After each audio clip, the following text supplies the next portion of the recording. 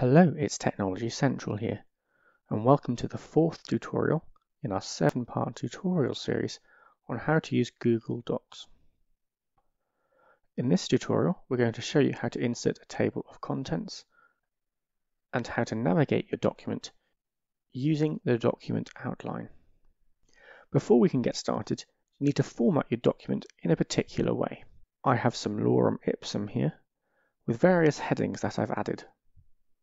Your title should be formatted using the title option. Then each major heading formatted as heading 1. If you want any subheadings, format them as heading 2. If you want even further subheadings, heading 3. Now, let's view our document in the document outline. On the left-hand side of your screen, you should have an option to show the document outline. Click it and it will bring up your document outline. Here we can see our title and then each of the headings.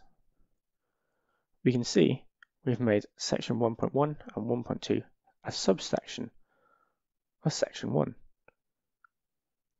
What appears here will be whatever you have written in any of these formatted sections. To jump to a section, simply click it in your document outline. And it'll jump us to that section. To close the document outline, click this arrow. Now let's insert a table of contents. Select where we want our table of contents to go. Come to Insert and come down to Table of Contents. You have two options either to display with page numbers or with clickable hyperlinks. Let's start by inserting with page numbers. As you can see, we've had our table of contents created automatically, with each of the headings appearing in our table of contents. If you make a change to your document, for example, I want to make this 1.1.0, then simply come to your table of contents and click the refresh option. And that will now update your table of contents to reflect the latest changes.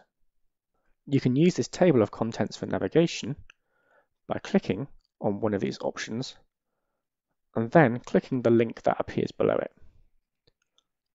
And that will jump you to the relevant part of your document. We can also change this to be a links table of contents. I'm going to delete our table of content.